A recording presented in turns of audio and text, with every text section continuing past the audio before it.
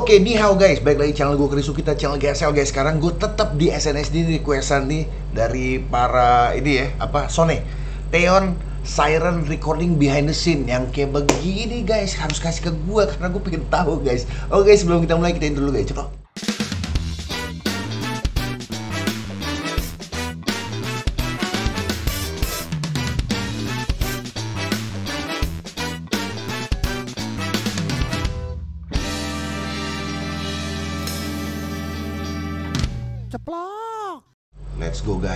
Uh, durasinya ya nggak terlalu panjang juga sih 7 menit. Gue masih banyak yang lebih panjang. Kita langsung aja guys. Ceplok.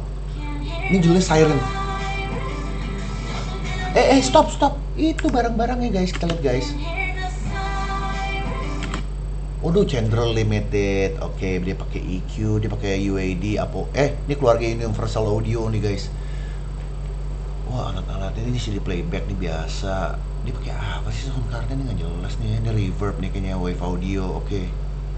Oh nice, ini alatnya nggak ada yang murah guys, seblok. Oke pakai Pro Tools deh. Ya. Dia nggak makeupnya cantik ya?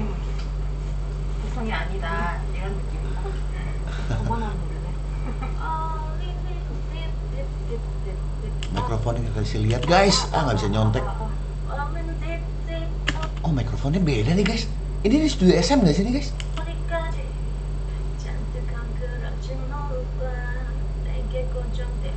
Gila kokoh banget ya dia punya ini.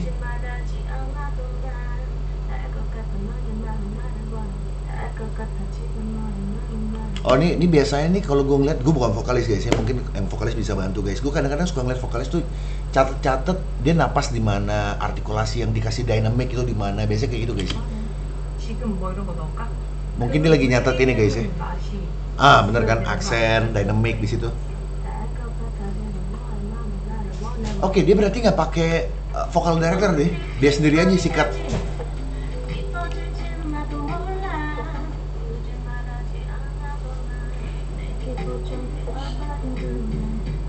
Ih, pitch bagus banget lo guys, gila lo guys nih guys, denger guys. Nih, nih. Wow. Wow. Dia bisa dibilang orang yang disiplin juga guys ya. Biasanya penyanyi itu uh, rada begini-begini guys. Ya, biasanya guys. Tapi ini dia, dia ini gue gue akhirnya nggak perlu automation volume kalau misalkan ketemu vokalis kayak gini. Enak guys. Nggak terlalu banyak kerja lah ibaratnya.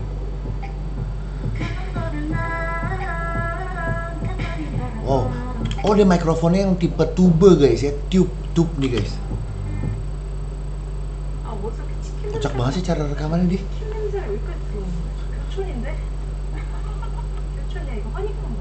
Head, headphone iya. tetap ya Sony ya M M MDR something lah.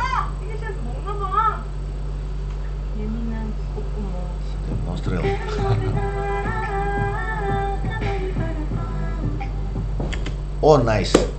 Ada beberapa orang rekaman guys ya. Biasanya kalau misalkan ada pecahan harmoni gitu, biasanya dia suruh mute dulu guys. Sisa harmoni ya, dia biar fokus ke satu suara. Kalau ini nggak ada masalah guys. Sikat aja nih. Nggak keganggu gak? Apa mas eh, vokal lain? Nice. Anjir manis banget, gokil. Enak banget, cepet sini. Oh, nice.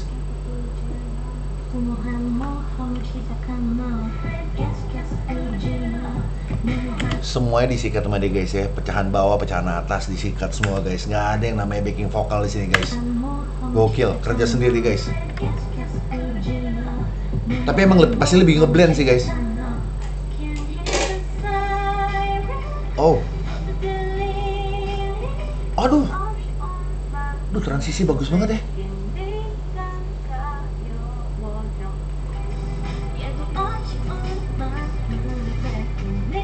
Hey, 여기가 약간 그 리듬이 갑자기 여유가 많아지니까 enak nih guys. Maksudnya nih si operator kayaknya banyak bengong nih guys. Maksudnya dia kerja sendiri ya udah dia ngonsepin di sini harus eh, mood vokalnya gimana gimana. Enak banget nih kayak gini guys.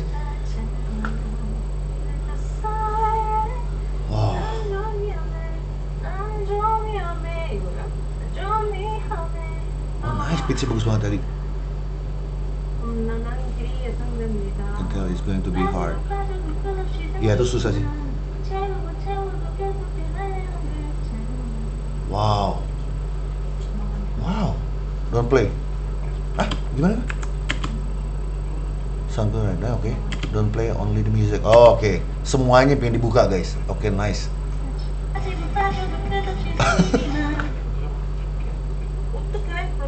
약간 좀 씹어요? 저는 100번 해도 좋아요. 아직까지 힘들지 않아요. Ini vitaminnya kuat nih, guys. 저는 Nggak capek, guys. 씹어요? 저는 100번 해도 좋아요. 아직까지 힘들지 않아요. Tapi bener guys, ini ini kejadian nyata guys. Ada operator tuh yang bete, eh, ah udah gue edit aja, padahal itu nggak menyelesaikan masalah di dunia mixing guys ya. Recording tuh memang harus 100% harus udah bagus, udah jadi, udah mateng guys. Jadi kalau kita mixing nggak terlalu banyak effort untuk diedit guys dan nggak kelihatan natural biasanya kalau misal kita udah edit edit terlalu banyak guys. Mantap.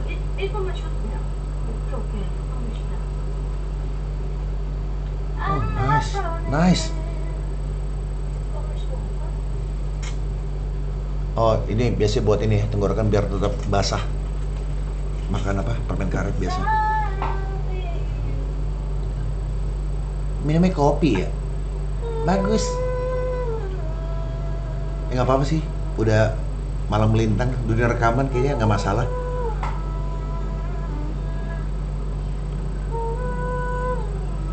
Eh Volas tuh.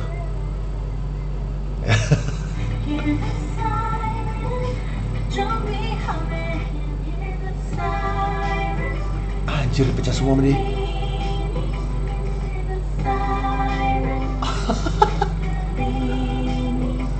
langsung jadi guys. Anjrit. Ada beberapa klien gue juga harus gue bantu. Gue pakai uh, pitch correction gue duplicate suara asli. Gue pecah ke suara sesuai dengan chord yang ada guys ya. Gue pecah 2, 3, 4, 5 mungkin. Dia mau pecah kayak R&B gitu yang ada chord 13 atau nggak 11 kalau dia langsung ceplak gila. Gokil. Oke nice. Oh nice. Wah enak nih operatornya nih udah pitch gak di nggak di otak atik kayaknya quantize untuk beatnya guys. Tempo juga nggak diedit nih gila ya.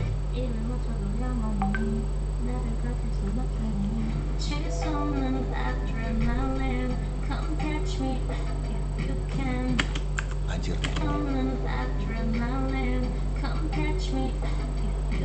Wow. Nice gue suka deh jarak mikrofonnya stabil banget guys. Jadi nggak terlalu banyak ini guys. Enak banget.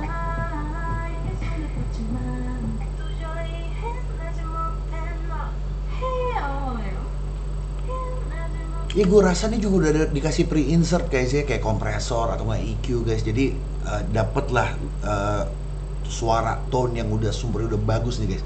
Jadi ini gila sih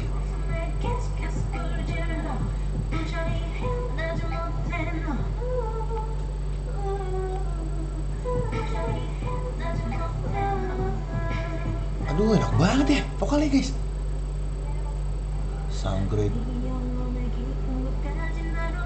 Kayak next ke depan dia bisa jadi vokal director untuk para para adik-adiknya sih guys kalau gue bilang sih. Oh. Wow. Kurang delicate.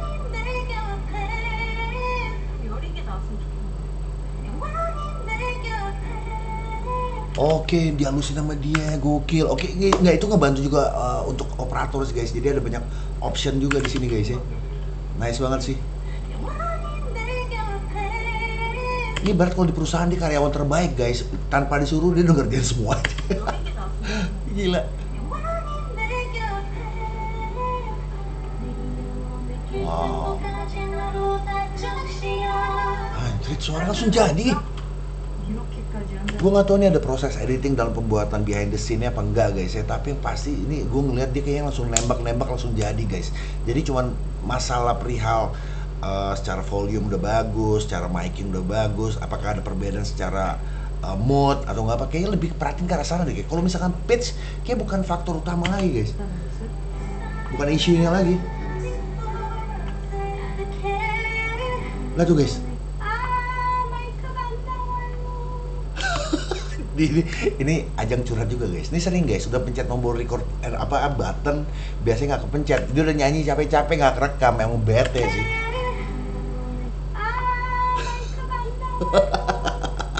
itu paling bete tuh klien tuh. Kadang-kadang muka udah bete, udah pengen disampit pakai mangga muka gua biasanya guys.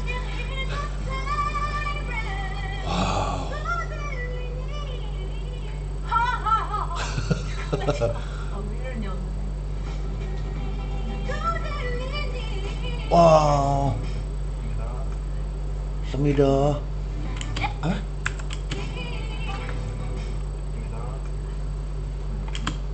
I get it right once after. Oh bener ini udah diedit guys ya. Dia udah ratusan kali ngetik. Ini bisa aja guys maksudnya ke dalam satu kalimat itu bisa ngetik. Gua record ngerekam satu orang waktu itu paling banyak 500 track guys. Untuk satu kalimat kalian bayangin guys.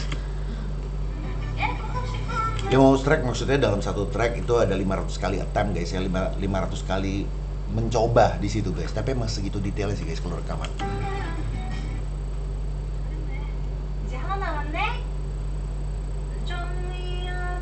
soalnya masalahnya kalau di dunia rekaman kenapa harus detail guys? Karena napas si belansi terus masalah apa kayak pop pop gitu kayak suara BP dan segala macam itu tuh kalau kalian dengar pakai headphone atau enggak kayak misalkan kayak gini apa uh, headphone itu akan kedengeran detail-detailnya guys. Jadi harus sempurna banget. Set. Buset, alat-alatnya kok mahal-mahal amat ya. Before and after. Oh jadi langsung seksi ya. Ini gue denger dari bocoran doang nih guys dari kamera nih guys. Gila apalagi denger aslinya kan clear banget deh wow aduh Shadow Hill ya uh, uh, uh.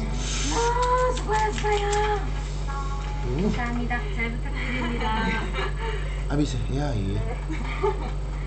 Rekaman buah anjing guys. Ya buat semangat sih, buat mood. Nah lo akrab ya.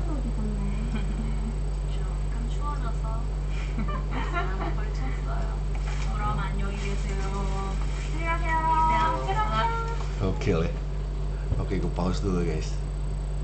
Gila beda ya maksudnya kalau uh, art, seorang artis tuh emang mereka emang profesi profesi profesinya tuh emang untuk nyanyi jadi mereka tuh emang sekalinya rekaman tuh emang harus maksimal sih jadi emang benar kalau kalian dengar uh, sebuah K-pop apa pun guys salah satunya si Taeyong guys kalian dengar pakai headphone ya guys.